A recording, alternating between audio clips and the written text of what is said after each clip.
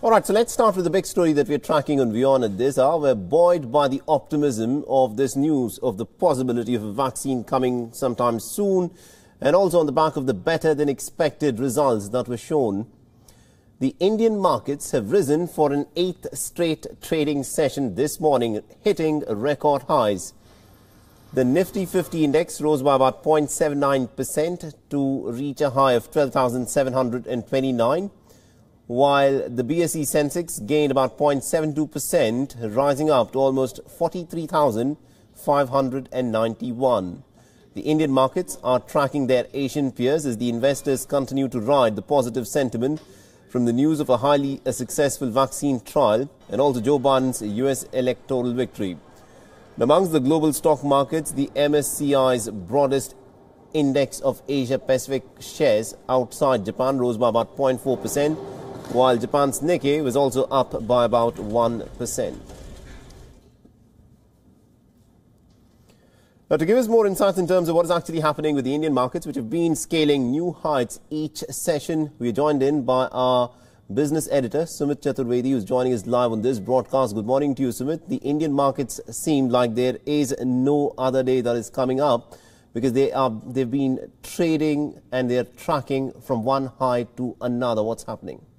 Uh, well, Saleh, remember, uh, this is Diwali week, so clearly it's the most auspicious time to buy and sell stocks as considered by many traders. So as we head into Diwali season, yes, there is positivity, but it's backed by the real positive news that came day before yesterday that Pfizer's vaccine against coronavirus is 90% effective. Well, that gave a big boost to US markets and the rub-off effect was visible in other global markets and ultimately it came to India. So Indian markets today are up for eighth straight session.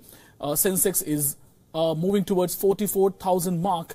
It's it's now above 43,500 mark. Nifty is also at record high levels. So both markets are cheering the news of the vaccine coming, a possible vaccine coming. Also the U.S. elections, there is stability there. It's clear that Biden, Joe Biden is going to be the next U.S. president. So there will be less of regulation there. There will be more. There could be more for U.S overall uh, economy as a stimulus is concerned. So banking on these positive news was clearly there's a uh, there's there's a, there's a reason for Indian markets to cheer all these news. And yes, it happens to be Diwali Diwali week when the sentiment is clearly up as far as the buying is concerned. So all of those that news is is making the markets touch new highs, scaling new highs for eight stage session. They have oh, they are going up and up. They have opened in green, and it's likely that they will maintain the levels, uh, the high levels today as well.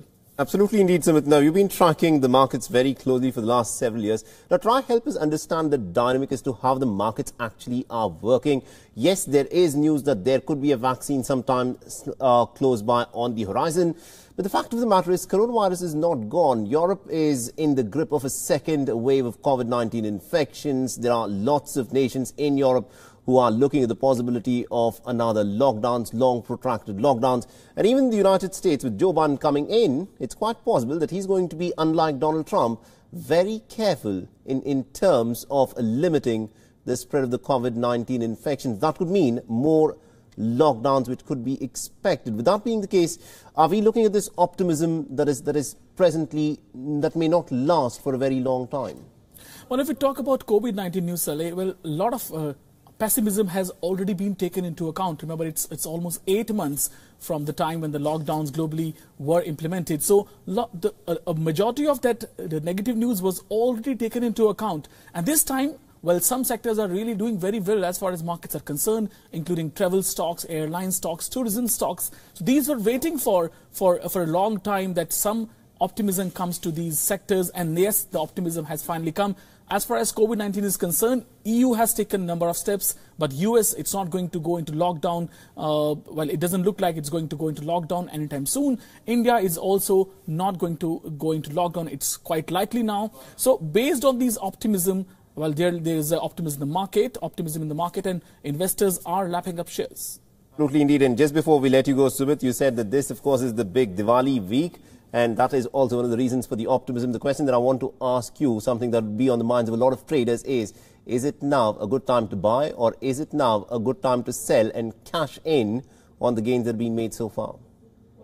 Uh, that's a, it's, a, it's a difficult a call, and every individual can take a call based on his experience. But yes, it's never a good time to buy something when the when, when it's at its peak. It's good to sell. That's that's uh, the basic golden rule of investment as it goes. So yeah, it's it could be a good time to sell stocks and buy if you may, if you want to, of certain sectors. If you they, they, they are your favorite, you can definitely dip into some stocks, but as they are at high, well, there's no point buying at this moment. Absolutely, indeed. We are indeed at a touching distance from the 44,000 mark. That's, that's how far Sensex has risen. Thank you very much indeed, Sumit Chaturvedi. Co-presented by Skoda. Simply clever.